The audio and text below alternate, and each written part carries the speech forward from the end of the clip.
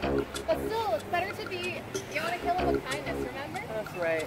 What? You're they actually filming. people filming you the whole time. Cool. Classic, kill with kindness. Guess what? Hey.